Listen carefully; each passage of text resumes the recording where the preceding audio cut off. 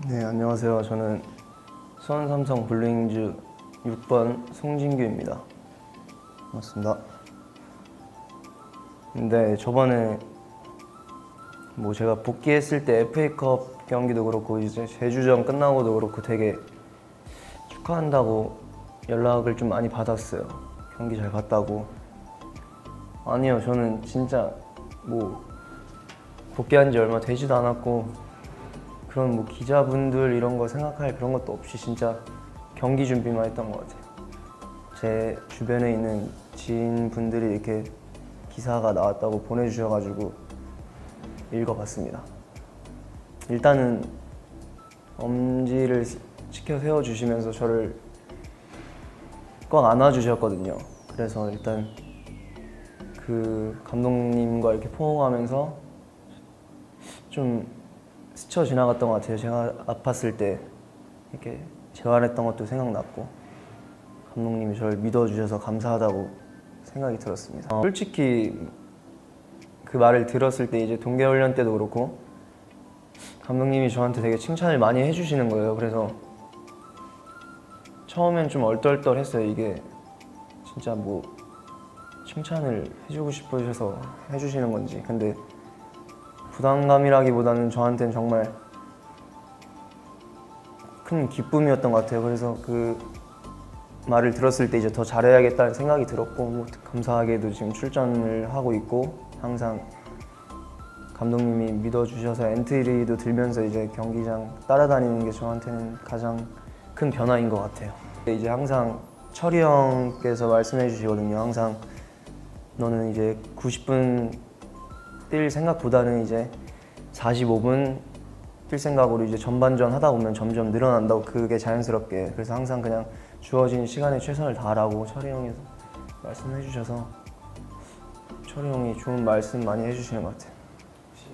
전 이상하게 구체적으로 이렇게 목표를 잡으면 잘 안 되더라고요. 그래서 구체적인 목표도 좋은데 저는 이제 진짜 한- 꾸준히 해서 최대한 경기에 많이 출전하는 게 제 목표고 팀에 도움이 되는 게 제 바람입니다.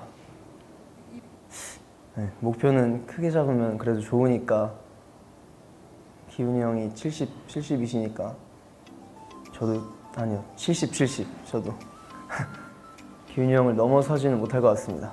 무조건 서울이라고 생각을 했었거든요. 원래 슈퍼매치가 되게 중요한 게임이고 무조건 이겨야 된다고 생각을 했었는데 모르겠어요. 저는 최근이나 이 몇 년 동안 보면 전북한테 저희가 이렇게 시원하게 이기거나 그러질 못했잖아요. 그래서 저는 경기에 뛰진 않았는데 항상 전북이랑 경기할 때 보면은 어떻게 보면은 좀 마음이 아파가지고 좀 열받더라고요. 전북한테 막 치고 그러는 거 보면. 그래서 전북이랑 서울 꼭 하면 이기고 싶습니다. 제가 만약 수원에서 은퇴를 하게 된다면 아, 제 송진규라는 정말 이 팀을 위해 헌신을 했었다. 정말 희생하고 도움이 됐었다.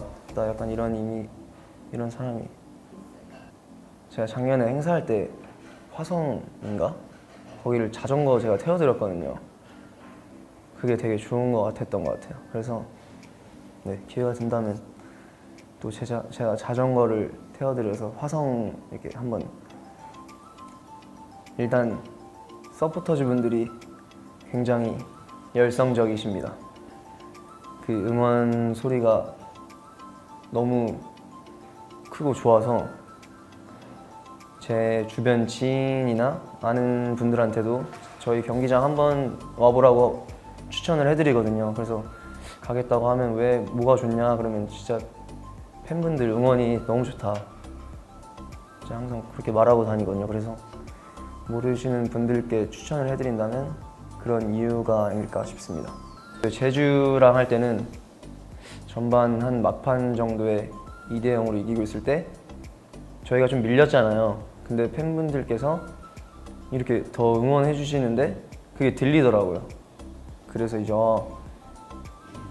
한 발 더 뛰어야겠다 이런 생각을 가지게 됐던 것 같아요. 여름에 덥잖아요. 그러면 뭐 저희 경기장에 오셔야죠.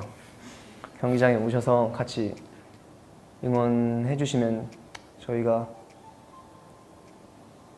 정말 120%막 200% 쏟아내서 경기장에서 좋은 모습 보여드릴 테니까 경기장에 오셔서 저희가 승리하는 모습 보시고 더위를 날리셨으면 좋겠습니다. 정말 제가 예전부터 팬분들을 어떻게 이렇게 응원하신 모습을 지켜봐왔는데 정말 저는 이렇게 응원해 주시는 게 쉽지 않다고 생각이 들거든요. 그래서 정말 대단하다고 느끼고 요즘 또 경기를 뛰면서 또 한 번 느끼고 있는데 저희가 경기장에 찾아오셔서 더 응원을 해 주시면 비록 저희가 뭐 부족한 모습이 있더라도 정말 항상 최선을 다해서 끝까지 하는 모습은 보여드릴 테니까 오셔서 응원 많이 해주시면 감사드리겠습니다.